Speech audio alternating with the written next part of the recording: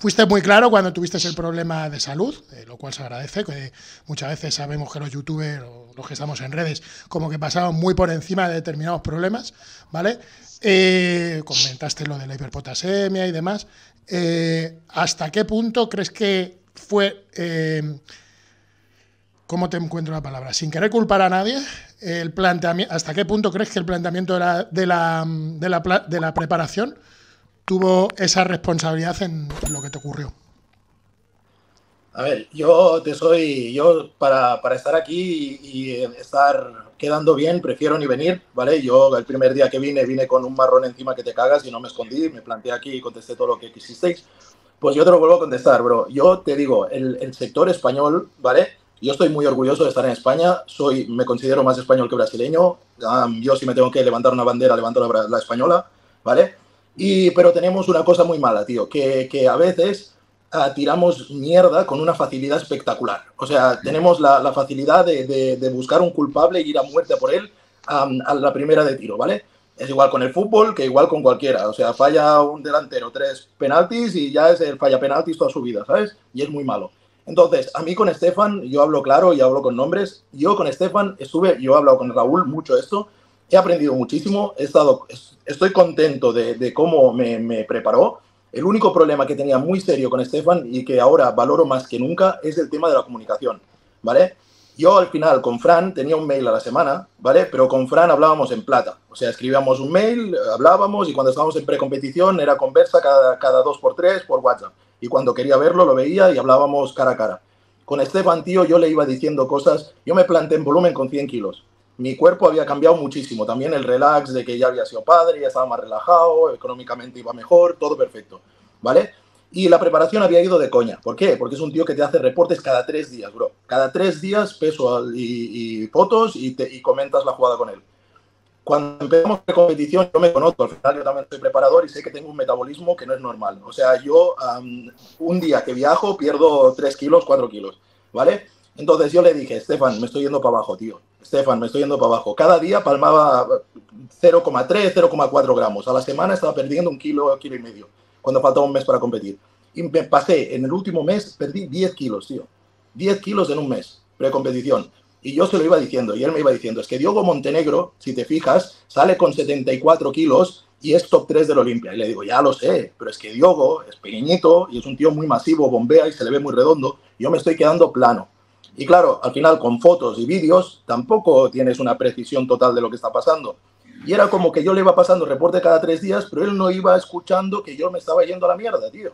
¿Sabes? Y es eso de que es un preparador nuevo y yo iba diciendo, bueno, él sabrá, tío, yo nunca he hecho una puesta a punto con él, será que al último momento me cargará como un loco, usará cositas y me llenará. Sí, al final uno, a uno, si tiene un preparador es para no cuestionar, es para claro, seguir el plan, claro, para, yo, no, yo, para yo, no pensar yo voy a muerte con él. Yo, por ejemplo, el otro día uno me, me, soltó un hate y yo le dije, mira, yo tengo, si buscas en el perfil de Fran Spin, verás una foto mía con Fran diciendo que soy un, preparado, un atleta de puta madre. Ves a Romano y encontrarás una foto de Romano diciendo que soy el atleta que todo preparador quiere tener. Y Estefan también. O sea, yo al final, yo a mis preparadores voy a muerte. Pues tío, no nos entendimos al final. Y en Italia ya me falló lo de las piernas. Y yo veía que estaban fallando cosas, migrañas muy fuertes, unos dolores de cabeza, tío, que, que no me aguantaba y tal, y, y, no supimos comunicarnos, tío, al revés. Yo le decía que me estaba quedando plano y él intentó cargarme con dulce y allí ya peté por todos lados. Entonces, ¿qué pasa? Yo lo achaco totalmente a una falta de comunicación también porque mi inglés es una basura y, y, no me pude comunicar como me tendría que comunicar con él. Pero al final este tío, si ves los resultados que tiene, los tiene, bro. Al final, uh, si un preparador de cada 10 atletas que saca, 9 salen bien, es que es un buen preparador.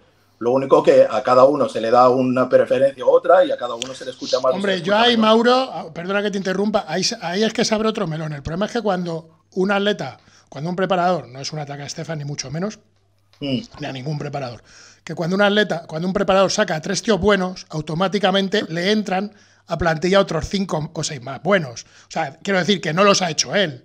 La gente, no sé si, no sé si vosotros entendéis lo que quiero decir, Raúl. Sí, sí, que un tío cuanto mejor gente lleva, al final mejor más gente, gente buena le más gente buena se le va juntando al grupo. Sí, al final la mejor publicidad son los resultados. Exacto, entonces, eh, pero sí, sí, perdona, era simplemente esa puntualización. Lo que una cosa, una cosa, Mauro, por curiosidad, ¿eh? no, no es nada, no es nada atacante, simplemente por curiosidad. Yo siempre he pensado, joder, que la comunicación con un preparador, por desgracia, tiene que ser muy fluida, aunque se hable poco, pero muy fluida porque hay que hablar de ciertas cosas muy claramente, ¿sabes? Em, conociendo el, el handicap del idioma, ¿por qué, con toda la variedad que hay de habla hispana, ¿por qué no elegiste cualquier otro de habla hispana? Mira, ahora, ahora yo soy muy franco y a lo mejor me suelto mierda encima mío. Ahora eh, a Estefan pagué para sacarle información. ¿Vale? Yo a Estefan. Súper lícito, era un, super lícito. Eh, era un preparador puntero, yo tengo 33 años, yo estaba muy motivado. Por ejemplo, este año hice mi primer pro, seguramente este año voy a hacer dos más.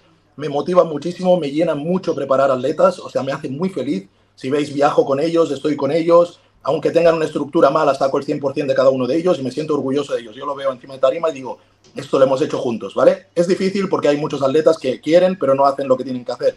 Pero cuando encuentras a un atleta que está a muerte contigo y te obedece y tal, y ves que tus planes están funcionando y tal, hostia, me llena muchísimo. Yo futuramente quiero ser preparador, lo tengo, ya lo soy, pero quiero centrarme 100% en ser preparador. Para ello necesito una formación. Yo me he sacado un grado, yo me he sacado muchos cursos de formación, yo he pagado muchos, muchas ebooks y al, final, yo con Fran, lo que aprendí con Fran en dos años fue mejor que los, los ebooks de, de todos los ebooks que pago en mi vida.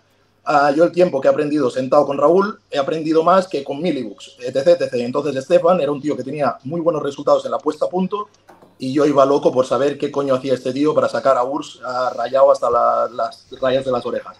Y a Diogo Montenegro, que había estado con Omar Ventura, haberlo mejorado y haberlo hecho top 3. Entonces yo pagué a Estefan un año directamente para formarme y aprender lo máximo posible de lo que hacía ese tío. Entonces me salió mal. Me salió mal en una parte, pero como preparador yo creo que después de haber estado con Fran, haber aprendido de Raúl, haber aprendido de Estefan y haber aprendido de otros, de otros preparadores, como también he estado con, con bueno, Loren, he estado con, he estado con gente que ha estado con Miguel Ángel, o sea, de todos estos yo me he formado y esa formación yo ahora me considero que puedo ser un buen preparador y lo que vaya aprendiendo de aquí hasta que me retire aún me hará mejor. Pero ahora mismo, hasta este momento, yo he estado buscando, con Fran no, con Fran busqué la pro. Pero desde Fran he buscado aprender lo máximo posible. Y ahora mismo mi objetivo es el Olimpia y vuelvo a estar en la misma etapa que estaba con Fran, en busca de un objetivo claro y la formación pasa a un segundo plano. Mira, voy a añadir una, cosa y es que el, el, del 100% de, la, de, los biotipos de las personas, ¿no? El, puedo decir que el 80% eh, se cortan con la misma tijera, es decir, dieta moderada en carbohidratos, cardio, entrenamiento, metabolismos comunes, en el que se utiliza una estrategia quizás de mayor a menor y al final la puesta a punto y la carga. Yo, Mauro, desde, desde que lo conozco, es, es, un, es un metabolismo totalmente diferente es uno de esos metabolismos que yo entiendo perfectamente, y tú lo sabes bien, Sergio, que son metabolismos ultra rápidos. Y es el que, eh, incluso en toda su carrera deportiva, con, muchos preparadores, le ha, ido, ha, ido, muy bien, como por ejemplo está nombrando a Frank, pero mm, no se puede preparar de la misma forma. Mauro está comiendo ahora, que para mí es lo mínimo que Mauro tendría que comer, son exactamente 500 gramos de carbohidratos. ¿Vale? Lo mínimo. O sea, neto, o sea, no puede bajar de eso jamás en la vida. A Mauro no se le puede explicar una descarga como a otra persona. Mauro no puede pasar más de dos sesiones de cardio de 20 o 30 minutos cada uno. ¿Vale? Es decir, no se le puede, no, se le puede cortar con la misma tijera que, a todos, ¿vale? Bueno, y de momento el, objetivo que teníamos respecto a su metabolismo, pues eh, va perfecto. Y va a llevar una preparación y un método que, por supuesto, es el mío y todo respetable, como que cada preparador tiene el suyo, pero al final está basado en, la alimentación. Es decir, ahora estás descargando con esa cantidad, volveremos a, cargar, volveremos a descargar y a cargar. Y la idea es sacarlo como mínimo, digamos, de lo que estoy seguro que va a salir, es que con, con, la calidad que le caracteriza, porque eso es suyo, esa, esa piel transparente, pero hombre, con el peso que también con su peso real que son como mínimo 10 kilos más de lo que, de lo que ha pesado en otros campeonatos.